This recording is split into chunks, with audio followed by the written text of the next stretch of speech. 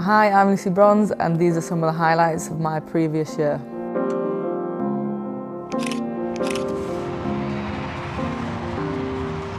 Bronze starts that run in there, that's aimed towards Lucy Bronze, that's the touch! From post header. We planned it, planned that goal. Uh, done it in training a few times, but I didn't think I'd honestly score it, and yeah, scored it FA Cup final, the first goal. But I hadn't won the FA Cup before this game, so to have scored the goal that set us up on the way to, to winning the trophy, yeah, I was, I mean, I was super excited, you can see on my face. Yeah, the celebrations of the FA Cup's strange as well because the way the league was and you still had games after it. I'm thinking like, normally you go out and champagne and stuff, but I literally sprayed every single drop of champagne. I don't think I drank any of it because I was thinking, hmm, got another game next week or something. that was the that was my favourite picture from that game as well as not even the goals or nothing. I had two bottles, one in each hand, jumping up. yeah, it was good. I think it was the president of the Lyon club. He came up to me just to say that I had a good game and that I was a good player, and I was like, I was so happy that someone from Lyon thought that because they've got the, the best players in the world play for Lyon. So I was like, oh my god, they think that I'm good.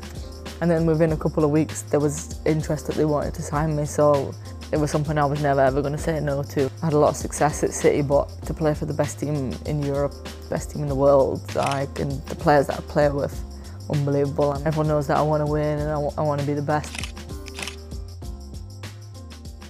To be the captain of when we've got a new manager, everyone's looking at the team because of this, that, the other. We're missing Jordan, we're missing Steph, we're missing Kaz. The team's in a transition and so many players are missing and, and then we're playing France, we're playing Germany, we're playing America. And he's like, right, you've got to be the captain. And, and I'm like, oh my God, please don't lose every game or I'm just going to be the worst captain ever. But I mean, the first game I was playing France. I play with these players every single day in France. I know them inside out. Luckily, I knew that they were going through a bit of a change and I knew that it was everything was going to be fine. So, I mean, I was obviously happy to be captain. It was something completely different for me that I've never ever captained any team in my life. Semi-final Champions League, yeah, this is the goal. The playing against your old team, the team that you leave, to say that you want to win the Champions League with this new team and then you have to play your old team in the Champions League. And I mean, it's uh, ironic that I was the one that scored, but and all the girls were so excited as well. It was a nice goal.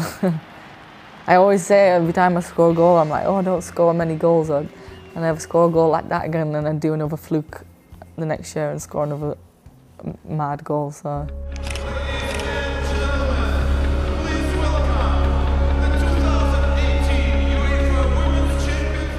Champions League final. Wow, this was hot. I don't think we played our best. Wolfsburg did well when this went in. Oh my god, a deflected shot. Wow. In extra time, and then thank God it was extra time and not additional time in the start of the game. But I think to be fair though, it took that goal for us to kind of step our game up. It took us 92 minutes to actually think, right, we actually need to play now. And then this goal, what a, what a strike. Top corner. Yeah, I mean, this is this is why I come to Lyon because every single team, every single player on the pitch can do something special. Like she's come on and scored that, and then yeah, super sub Shanice.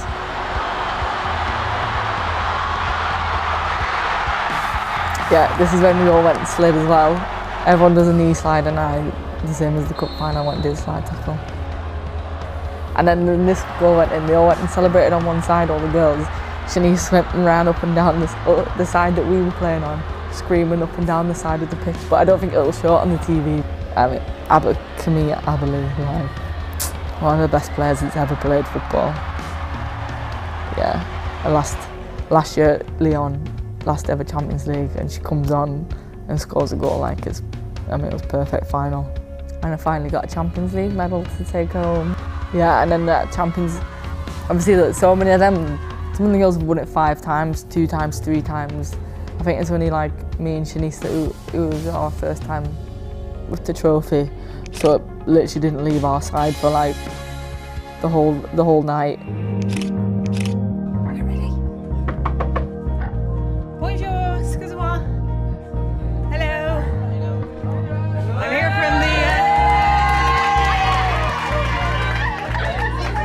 Uh... So I was getting physio treatment on my knee or something, and I was late for the meeting, which is standard in France that someone's late for the meeting, but it was happening to be me. I don't know if this was planned. Then like they're like, Lucy, come on, you're late, like we need to go, we need to go. So I'm like, okay, okay, quickly come in the room. Everyone's there, and I'm thinking Champions League finals in a couple of days. Like, oh, we're probably watching something on Wolfsburg or.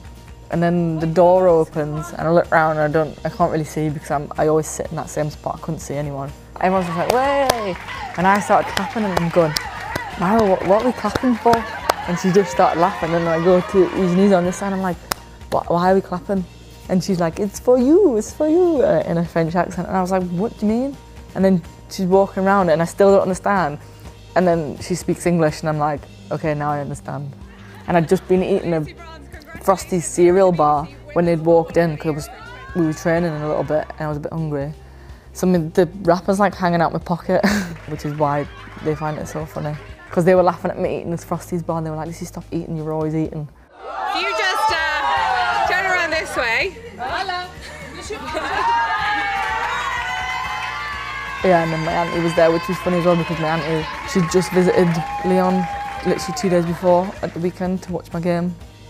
It was her first time coming out to Lyon, and then obviously she's walked through the door as well.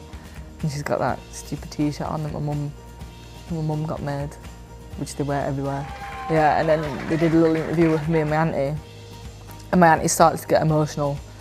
My mum thought, my mum was hoping that I was going to cry, but she should know better than that, that I'm not going to cry. So my auntie started getting choked up and getting a little bit emotional. My mum was dying for me to cry. She was like, oh, should we send, should we send your brother or, or your nan, or should I come?